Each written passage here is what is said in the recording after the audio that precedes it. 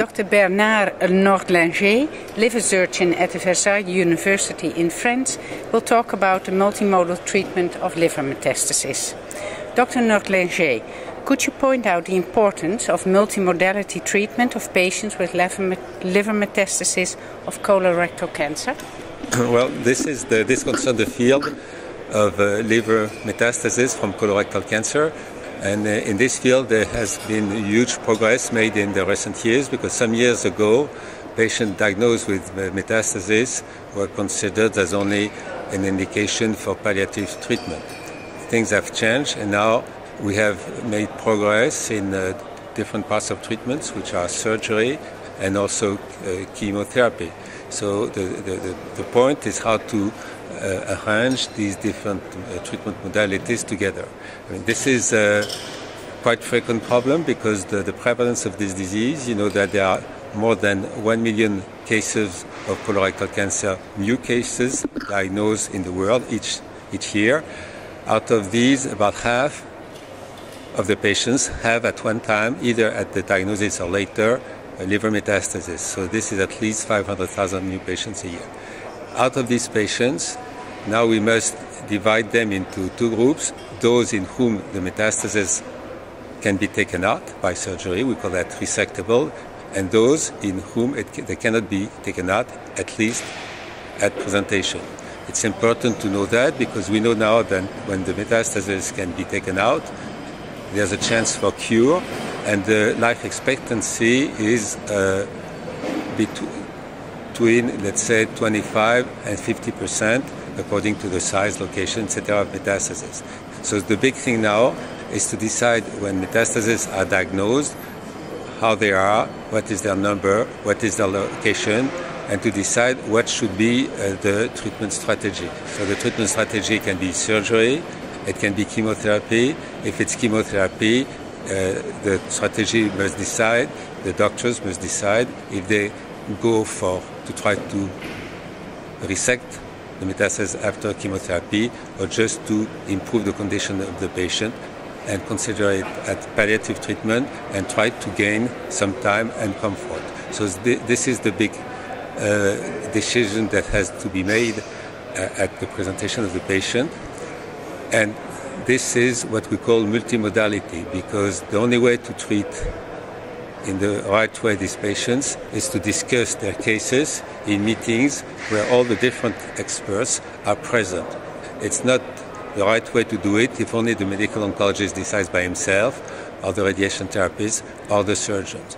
Uh, all the doctors must be present in these uh, multimodality uh, meetings. It's very important to decide what is the aim for a, for a given patient. So at present, approximately 20% of metastases can be resected according to their size and characteristics at presentation, and the other 80% cannot be resected, but then one has to decide what to do. So the multimodality meeting is very important, not only at the beginning, when the patient arrives in the hospital, but if he receives chemotherapy every three to four months to, uh, to know how is he evolving according to the results of chemotherapy. So in this uh, multimodality me- meeting, there should be surgeons, medical oncologists, radiation therapists, pathologists, and radiologists. The radiologist is very important because he's the one who says, the, by looking at the CT scan, where the metastases are and if they can according to where they are, be taken out. So then we come out with two different groups of patients. Those who have metastasis can be resected, and those who have metastasis that cannot be resected. So in those who can be resected, uh, the aim is to try to have cure, what we call cure at between brackets, is survival at five years, and mostly most of the patients survive at five years, survive uh, longer. And in these patients, the indication of multimodality treatment is to have perioperative chemotherapy. This is chemotherapy with a regimen of FOLFOX, 5-FU oxaliplatin, uh, six cycles before the, the, surgery, then the surgery, then uh, six cycles after. This is based on an EORTC uh, trial that was uh, published in uh, Lancet uh, a few years ago, and I was the PI of this study. So this is the standard at the moment. Some question whether post-op chemotherapy only could be sufficient, but right now we don't have trials who prove that, so maybe in the future, but right now the standard of care is chemo, surgery, and chemo for these patients. So this is 20% of the patients. Now the others. The others, many of them will not have any uh, surgery, but all, all of them must be uh, evaluated for potential surgery. So some are considered as not resectable immediately, but they could become resectable if the tumor shrinks, you know, becomes smaller, and uh, then they deserve to have a chemo regimen which gives a high response rate, even if it's uh, uh, aggressive. What we want to do is shrinkage to try to take it, take it out. And at the other aim, uh, the other end of the scope are patients with diffuse metastasis who are not fit, and we uh, do not expect to do surgery. So in these patients, we don't want to give too aggressive treatment, just to try to prolong their life as long as possible. So for the first uh, category of patients with non-resectable, but potentially what is we call potentially resectable, then we need aggressive treatment to try to induce response. So the, the aim in these patients is response. For this, we have uh, several regimens. It's either either uh, combinations of cytotoxic regimens. For example, it can be FOLFOX, 5-FU-oxaliplatin, or FOLFIRI. This is there's a bug here. uh, or now we use triple combination 5-FU oxaliplatin irinotecan, which results in quite high response rate, above 50%, up to 60 or 70%, are the combination of cytotoxics and uh, targeted agents. So the targeted agents which are used the most commonly are uh, uh, VEGF inhibitors. This is uh, bevacizumab, uh, which is very commonly used, particularly in the United States, also in Europe. Uh, the response rate is not that obvious that the response rate uh, in the phase 3 trial uh, is always improved. When combined with irinotecan in a big trial, important trial, it was improved. When combined with oxaliplatin, this was less obvious. Now we have the other, the EGF inhibitors, which are cetuximab and uh, panitumumab. This, they can be used in patients who have no mutation of the KRAS gene. And now at this meeting and at ASCO this year, we have seen that uh, not only the uh, exon 2 of KRAS should be evaluated, but other exons and also NRAS. So now we have a more extended determination than the RAS statute. And if the RAS uh, genes are not uh, are not mutated, then uh, usually what considers the good indication is to administer uh, uh, EGFR blockers, which is cetuximab in combination with chemotherapy.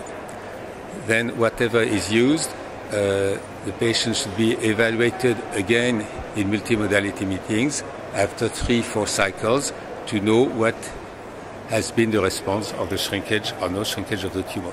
And if there's no effect, then there's a need to change the treatment. If there's uh, effect, then maybe the patient can be considered for surgery. So I told you we have a, a, group of patients who are between the completely unresectable and the resectable. So these should be evaluated very carefully for potential resection. And what is important also, and this is another aim of the multimodality meeting, is that uh, the, the idea is to take out the tumor as soon as it has become resectable and not to go on with chemotherapy uh, very, for, for, forever because going for chemotherapy forever, which may happen when medical oncologists do not ask the advice of the surgeon or if they don't have a surgeon to work with. Then the patients, the time when it's resectable will, will uh, go. Then the metastasis may not be visible anymore on CT scan, which doesn't mean that they are cured, and the surgeon cannot find them, so he cannot do the surgery. And the other problem is this, that this can damage the liver, and we know that uh, starting from six cycles, the administration of chemotherapy can damage the liver and increase the risk of surgery. So it's very important not to overtreat the patients with the chemotherapy, to try to take out uh, the metastasis, which means that the aim should not be best response, what the medical oncologist calls best response, as, as long as it decreases, but the aim should be, uh, at least the intermediate aim should be uh, resection. So do not overtreat, this is the message with chemotherapy, but do not overtreat also with surgery, because there are some countries where the doctors do not believe too much in chemotherapy, and the surgeons from, from some countries in Asia, for instance, uh, where the surgeons would take out 20 liver metastases in the liver without having the use, without using chemotherapy. So overtreatment anyway is not good. So this makes means why it's so important to have the multimodality meetings and the multimodality treatment. And this is due to this treatment that we have improved so much the, the prognosis and the outcome of these patients. And the last thing is uh, some of the patients, we know there's a chance that they become resectable. Now we have patients with uh, diffuse metastasis.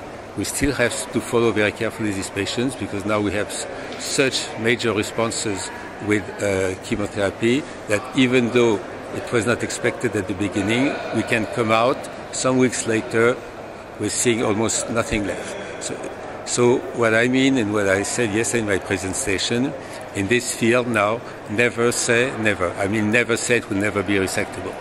Because if you have a big metastasis and small ones, now, if the small ones disappear, we know that most of the time they are still there, but maybe we can uh, do some good to the patient by taking out uh, the big one. So this is a message I'm trying to uh, give and make public everywhere. I give this uh, kind of talk uh, very often, maybe once or twice a month, everywhere in the world.